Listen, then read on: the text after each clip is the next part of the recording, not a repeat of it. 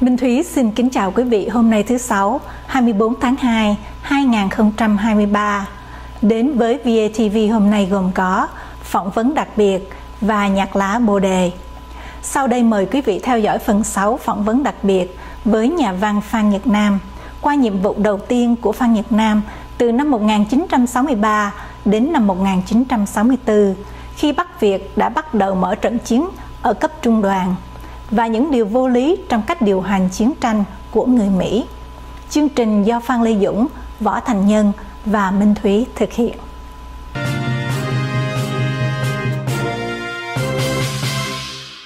Dạ thưa anh, ờ, cái nhiệm vụ đầu tiên mà sau khi anh ra trường đó là nhiệm vụ gì? Là trung đội trưởng, trung đội trưởng tiểu đoàn 7 nhảy dù. Đó, là một cái tiểu đoàn nó đã bị uh, đít sút nó đã bị uh, giải tán từ sau 1954 và đến năm 1960 thì nó được thành lập lại. Vâng.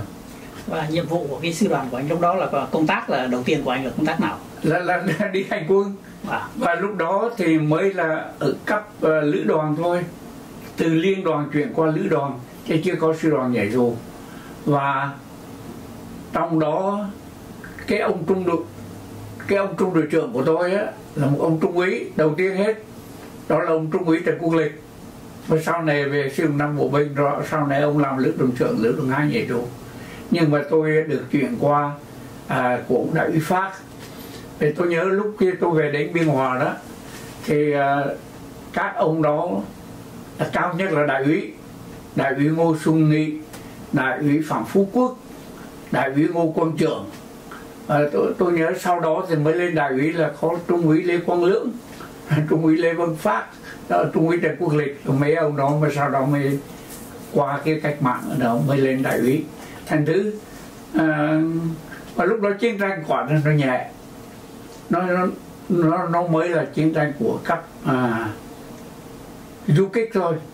Tuy nhiên vẫn đề năm 1963 đó sau này tôi mới nhận ra mới biết thì hóa ra năm đó phía bên mặt trận giải phóng nó đã chuẩn bị trận địa chiến.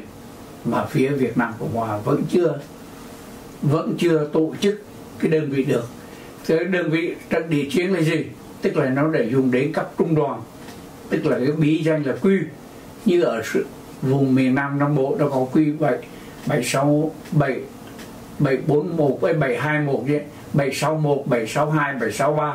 Thì ba cái quy đó sau này nó thành là công trường bảy. Tức là dưới quyền của Trần Văn Trà là là lực lượng chính gốc của chủ lực miền miền Đông Nam Bộ. Trong khi đó, phía Việt Nam Cộng Hòa vẫn chỉ là tổ chức cấp đại đội chẳng thứ nó có những cái thiệt hại mà chúng ta phải gánh chịu những năm năm sau tư, sau năm là vì vậy. Dạ thưa anh, cái um, cái việc mà mà mà anh vừa mới nói đó, tức là từ du kích mà nó chuyển sang um, sang cái đó, thì anh là cái người mà đang lúc đó anh ở ngoài mặt trận, anh có thấy sự khác biệt không? Không thấy, vì lúc đó một anh thiếu úy trung đội trưởng làm sao mà thấy, nhưng sau này mới thấy. Sau này mới thấy, ủa, tại sao mà những đơn vị như tiểu đồng bảy nhảy dù? Chỉ hơn một nửa tiếng đồng hồ là bị tan cỡ trận đồng xoài 11 tháng 6 65 một tiểu đoàn, bốn thủy quân lục chiến. Cộng thêm tiểu đoàn mà hình như 35 hay 38 biệt đồng phương bị tan ở bị dạ thì từ đó, sau này, lúc đó thì chưa biết nhưng sau này mới biết à hóa ra phía bên cộng sản có cái gì phải công nhận một điều. Ở bên ấy, ở bên phía cộng sản, người ta đi rất đúng bài bản. Mạnh kích, nhưng mà tứ khoái nhất mạng là bốn cái chậm là chuẩn bị chậm tập trung nhanh, tấn công nhanh, rút như nhanh tăng và nhất mạng là chuẩn bị rất là chậm người ta chuẩn bị rất rất là chậm và cái chuẩn bị này không phải là chuẩn bị từ ở miền Nam của mặt trận giải phóng, mà nó chuẩn bị từ bộ tổng của ủy ngoài Bắc. Ví dụ như trận Bình Giả là tháng 12 năm 64 đánh ở Bình Giả Phước Tuy. Là nó phải chuẩn bị từ tháng riêng năm 64 nó chuẩn bị, nó tập trên sa bàn, nó tập trên thực địa, nó tập dược xong rồi đến cuối năm 64 nó mới nổ đổ súng trận đồng xoài đánh với tiểu đoàn của chúng tôi trong bảy ngày dù nó phải chuẩn bị từ tháng riêng năm 65 rồi đến tháng 6 năm 65 nó mới đánh về um, nó mới đánh với đồng xoài. Cũng như sau này trận Hạ Lào là nô mặt trận là tháng 2 71 nhưng nó, người ta nó đã chuẩn bị từ trước mậu thân tôi xin lặp lại từ trước mậu thân, tổng cung ủy ngoài bắc đã chuẩn bị trận Hạ Lào. Nổ, mặt trận là nổ chiến trận là tháng 2 năm 71 như vậy đứng về mặt chuẩn bị phía cộng sản. Mà cộng sản này không phải là cộng sản của Nguyễn Đức Hữu Thọ, không phải là cộng sản của ở trong Nam, mà đây là cộng sản của bộ tổng của Nguyễn ngoài Bắc. Cho nên người ta được chuẩn bị rất chậm, rất là kỹ càng chính vì những chịu bị rất kỹ càng đứng về mặt quân sự. Trận đồng xoài đã thua, trận bình giản đã thua.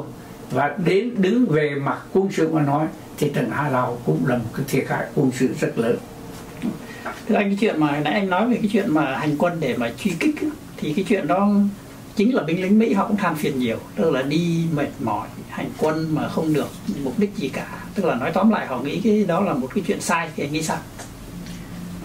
Thì à, lấy ông à, lời của ông Đô Đức Moore tức là ông à, là tham mưu trưởng à, ông là là, là tư lệnh mặt của Thái Bình Dương. Ông nói chưa có một cái cuộc chiến tranh nào mà nó quay đại như vậy dùng đến cả một hạm đội cả mười mấy chiếc hàng không màu hạm cả, cả một hạm đội bao nhiêu tàu bay mà đánh liên tục như vậy mà không biết đi đánh đánh, đánh vào đâu hết có nghĩa là sao? Những điều này phải nhìn lại mới thấy. Như mặt trăng khe xanh, mà cả tòa bạch ốc được rung rinh, rồi tòa bạch ốc phải ở phòng tình hình phải họp lại, phải sợ rằng là biến thành một cái tiếng biên phủ trên không. Nhưng mà trăng khe xanh để làm gì? Để làm gì vậy? Tập trung chú đến cho cô mà chịu bao nhiêu điều thật thiệt hại rốt cuộc cũng kéo quân đi. Sau 77 ngày, dội hết cả bom, hết cả đen của vùng Đông Nam Á. Cường tập dội bom nát bét hết. Rồi về mang quân đi. Thì như vậy cái cái sách để làm gì? Chẳng thì chúng ta chúng ta không phải là là ngồi để bàn chuyện tâm quốc hôm nay. Nhưng mà tôi cũng không hiểu, quả tình đến giờ này tôi cũng không hiểu. Tôi cũng không hiểu chiến tranh Việt Nam đã điều hành từ ở chỗ nào? Từ còn mà nếu mà đúng ra mà với lượng bom lượng như vậy thì chả còn một cái ông lính Bắc Việt nào mà sống sót được hết. Nhưng mà tôi hình như rồi ở đâu ấy chẳng phải là là, là dội trúng mục tiêu. Nếu có thấy được một lần đó là trận ở Hang Lộc do ông Levenskog ông đã tổ chức chính ông điều kiện các cái các cái phi vụ B52 mặt trận An Lộc trong cái tháng 5 năm 1972 mới chặn đứng được các cái tập trung quân của các cái sư đoàn cộng sản xung quanh An Lộc. Còn ngoài ra, hình như dội vào khoảng không, dội vào khoảng trống. Mà nếu bắn, mà trúng mục tiêu hay không thì rõ ràng tôi chỉ thấy có cái trận lôi phong tháng 6 tháng 7 tháng 8 tháng 9 72 bắn đúng cái mục tiêu là cổ thành Đinh Quang Tráng, mới lấy lại cái tổ, cổ thành Đinh Quang Tráng trong tháng, trong ngày 16 tháng 9 năm 1972 còn ngoài ra, nó có một cái cách bắn gọi là bắn quấy rối harassing fire bắn hoover ở trong đó. Nhưng tất cả cái bắn hoover đó cũng phải được tính ở trong quân viết, cũng phải tính ở trong cái là chi phí về quốc phòng. Thành thử thưa với anh Phan Lê Dũng. Và thưa quý vị, hôm nay phải chúng ta cáo buộc ai, cũng phải là bàn chuyện Đông Quốc. Nhưng quả tình thật, chiến tranh Việt Nam tôi cũng biết, người ta điều hành và quyết định từ ở cái, những cái chỗ nào.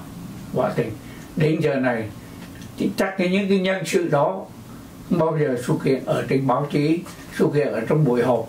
Và tôi nghĩ rằng ngay cả đến tổng thống mỹ cũng chưa hẳn là cái người quyết định của chiến trận đó. Và để trả lời với anh thì 1995 chính ông McNamara một ông bộ trưởng quốc phòng, hai đời tổng thống mỹ, phải nói là một ông bộ trưởng quốc phòng giỏi nhất, cự phách nhất. Nói chuyện với võ nguyên giáp và ông bảo rằng, ông bảo, ông dùng chữ we have a toy con gì đó. Nghĩa là chúng tôi đã làm rồi đấy thì một ông bộ trưởng quốc phòng mà còn bảo rằng ông lầm thì hỏi rằng ai lại ờ, làm sao một anh thiếu úy trung úy mà biết được cái sự lầm lỡ đó ở đâu? Cảm ơn anh.